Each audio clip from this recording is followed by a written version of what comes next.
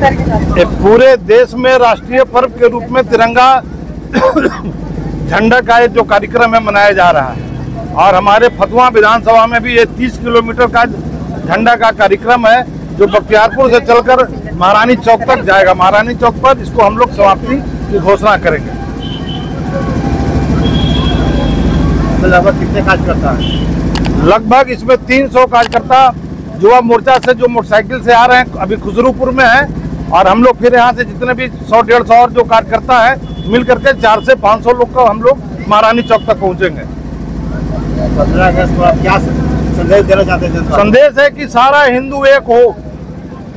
बस एक ही संदेश है। झंडा यात्रा निकल रहा है इस पर आप कैसा महसूस कर रहे हैं? यह बहुत शान और फख्र की बात है। आज देश के 140 करोड़ हिंदुस्तानियों का सीना ऊँचा है।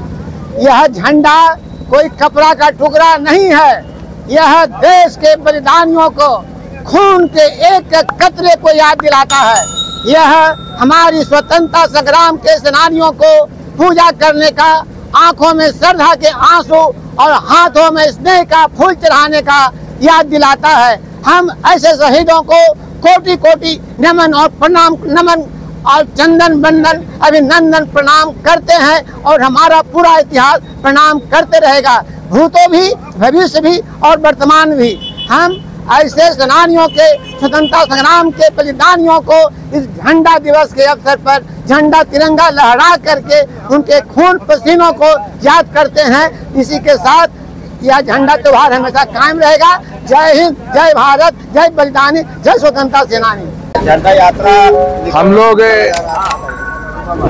भारत की आज़ादी उन्नीस में हुई थी और उसी के अनुसार हम लोग 15 अगस्त को प्रतिवर्ष झंडोत्तोलन कर करके आज़ादी का जश्न मनाते हैं और इसी जश्न के अनुसार हम लोग का एक कार्यक्रम तेरह से पंद्रह तक का लगातार कार्यक्रम चल रहा है और हमारे पूरे फतुआ में और फतुआ विधानसभा के अंतर्गत तिरंगा यात्रा का कार्यक्रम है और उसी के निमित्त आज हम लोग बख्तियारपुर से फतुआ तक तिरंगा का प्रदर्शन कर रहे हैं और इसका समापन हम लोग फतुआ के महारानी चौक पे करेंगे और मैं सभी भारतवासियों से अनुरोध करूँगा कि तिरंगा का सम्मान करते हुए हिंदू एकता का परिचय दें। जय जय श्री राम।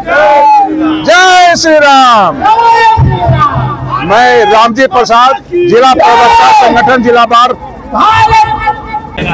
आज हर घर तिरंगा यात्रा है। हर घर तिरंगा यात्रा संकल्प है भारत भूमि की सुरक्षा की। अब बलिदानियों की याद दिलाता है कि देश की आज़ादी के लिए हम लोग किस तरह से बलिदान दिए थे और इसमें केसरिया रंग है जो शौर्य का प्रतीक है। और शौर्य का प्रतीक है, हम लोग को याद दिलाता है बलिदान का या भारत की एकता का, भारत की अखंडता का, और भारत को एक रखने के लिए यह झंडा, हर घर तिरंगा यात्रा बहुत, जो बहुत ही ज़रूरी है।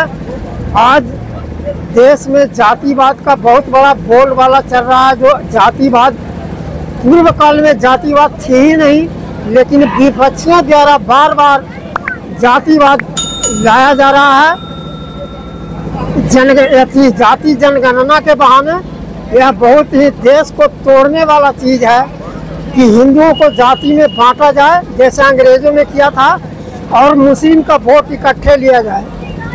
इसलिए आज के समय तिरंगा यात्रा हर व्यक्ति को जागरूक करना बहुत ज़रूरी हो गया है। इसलिए भारत माता की जय कहते हुए हम चाहते हैं कि सारे हिंदू एकजुट हो अपनी भार मातृभूमि की रक्षा के लिए बलिदान के लिए तिरंगा यात्रा में शामिल हों। झंडा यात्रा है इसके बारे में बताइए क्या प्रोग्राम है कैसे है?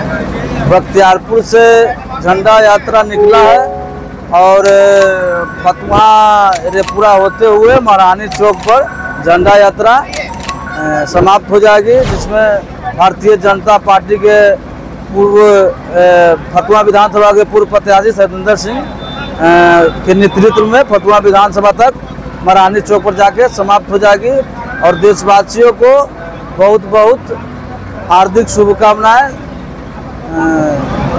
प्रधानमंत्री की ओर से सभी देशवासियों को तिरंगा यात्रा में शामिल होने के लिए और निकालने के लिए उनके आदेश पर, निर्देश पर सब लोग हम लोग धन यात्रा निकाल संतोष यादव जल्ला मंडल अध्यक्ष पैक्स अध्यक्ष मर्ची पंचायत। भारत पंद्रह अगस्त को उन्नीस को भारत स्वतंत्र हुआ था। आज का पंद्रह अगस्त का दिन जो है भारतीय संविधान में स्वर्ण अक्षरों में अंकित है। और उसी को तरोताज़ा करने के लिए हर साल हम लोग स्वतंत्रता दिवस जो है मनाते हैं अपने शहीदों को श्रद्धांजलि देते हैं और देश के युवाओं को नौजवानों को किसानों को सभी जनों को जागृत करने के लिए अपने देश के प्रति तिरंगा यात्रा जो है हम लोग भारतीय जनता पार्टी की तरफ़ से निकालने का हुआ है तेरह से पंद्रह तक। उसी क्रम में हम लोग भटुआ विधानसभा के ए, में हम लोग तिरंगा यात्रा निकाले दिलीप कुमार सिंह। भटुआ विधानसभा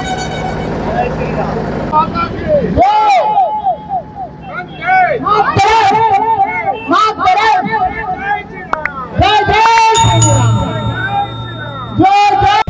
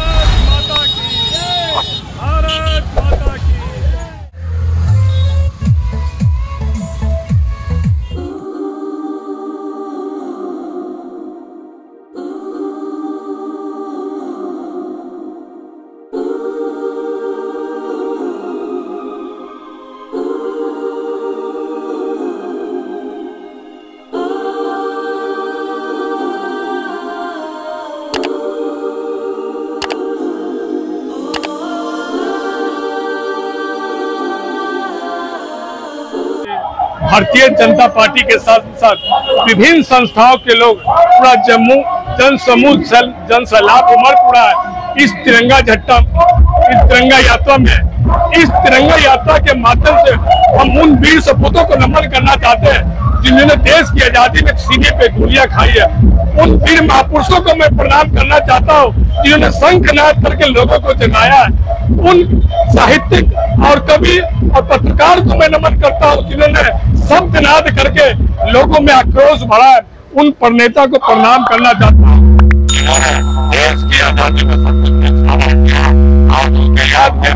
तिरंगा यात्रा, लगभग यात्रा अपार जन समूह दिखाई पड़ रहा और मैं यशस्वी प्रधानमंत्री को बहुत बहुत आभार व्यक्त करना चाहता हूँ। कि आपने जनमानस को इस तिरंगा यात्रा के लिए देशभक्ति भावना से ओत प्रोत किया है। ऐसे यशस्वी प्रधानमंत्री को मैं आभार व्यक्त करना चाहता हूँ कि आपने न सिर्फ़ पार्टी को मज़बूत किया है, देश को मज़बूत किया है, आप सिर्फ़ राजनीति नहीं करते हैं, राष्ट्र निर्माण भी करते हैं। इस बात को लेकर आज हर युवा आपके प्रति प्रेरित होकर आज तिरंगा यात्रा में शामिल होकर भारत माता की जय कर रहा है और भारत माता की तिरंगा को लहराने के लिए आज वो संकल्प भी, ले रहा है कि जीते ज़िंदगी मैं भारत माता के झंडा को झुकने नहीं दूँगा। और चाहे सियाचिन हो चाहे वो राजस्थान हो या कारगिल हो जहाँ भी हमारे सैनिक डटे हुए उनके परिवार को मैं प्रणाम करता हूँ कि ऐसे सपूतों को जन्म देके आपने देश की रक्षा के लिए आज वो सब कुछ त्याग करके खड़ा है। आज जब वो जागते हैं तब हम सोते हैं। जब वो तटस्थ रहते हैं तब हम इंजॉय करते हैं। उनकी भावना को लेकर मैं सैल्यूट करता हूँ सलाम करता हूँ। नाम बताइए। मैं संदीप कुमार यादव पूर्व प्रदेश उपाध्यक्ष किसान मोर्चा। भारत माता की। जय। भारत माता की।